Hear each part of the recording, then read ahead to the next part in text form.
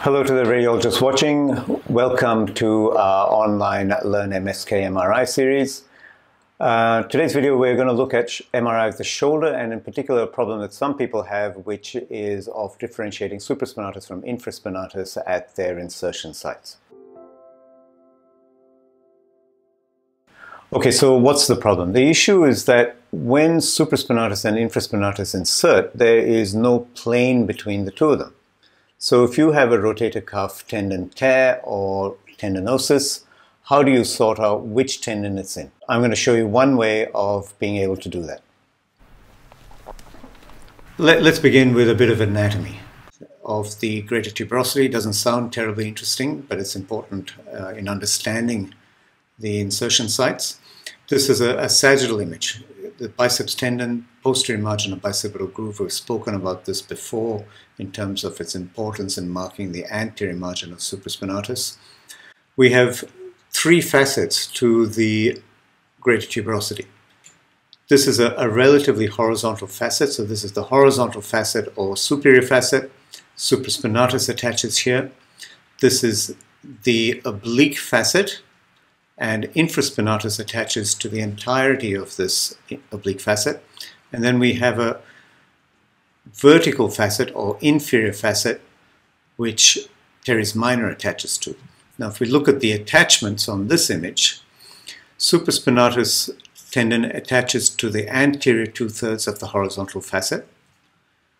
Infraspinatus inserts onto the entirety of the middle or oblique facet but it also comes anteriorly and attaches onto this posterior third of the horizontal facet. And this is where we have a mixture of supra and infraspinatus tendons. So this is the conjoint area where we've got a mixture of supra and infraspinatus tendons. This vertical facet we don't worry about too much. This is where teres minor inserts. Okay, so we start anteriorly on these coronal scans.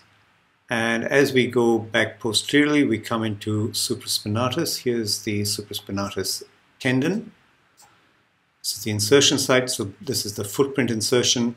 And as we keep going back, we have one continuous tendon that goes all the way back. And then here we're definitely into infraspinatus. Here's the tendon of infraspinatus. Let's come back anteriorly again. But what we don't really know is where is this junction between supraspinatus and infraspinatus. So what we need to do is use the coronal images to cross-reference. And we find this image where we have biceps tendon. Here's the posterior margin of the bicipital groove. That's, these are the anteriormost fibers of supraspinatus. And here's our horizontal facet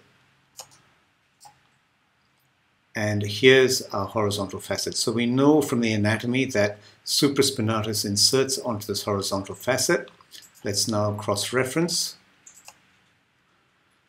So horizontal facet, we're in supraspinatus, keep coming back, still in supraspinatus, towards the posterior margin of supraspinatus now, so we're getting into that conjoint region, so we're going to have overlap from where infraspinatus is inserting.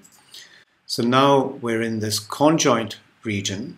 So between here and here, we're in the conjoint region of both supra and infraspinatus. And as you keep going further back, now we're starting to definitely get into that oblique facet. So the fibers that we're seeing here are infraspinatus fibers. And we go back one more.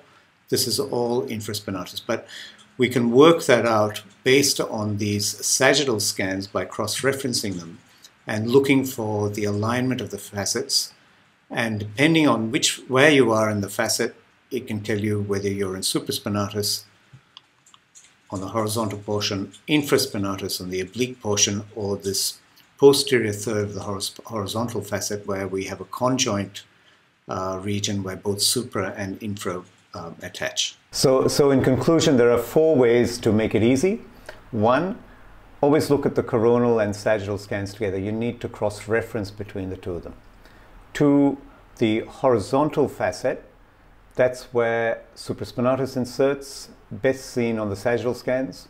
the oblique facet, that's where infraspinatus inserts, and that's again best seen on the sagittal scans. And that junctional area between the oblique and uh, horizontal facets is where you get a mix of supraspinatus and infraspinatus fibers, and that's the conjoint region.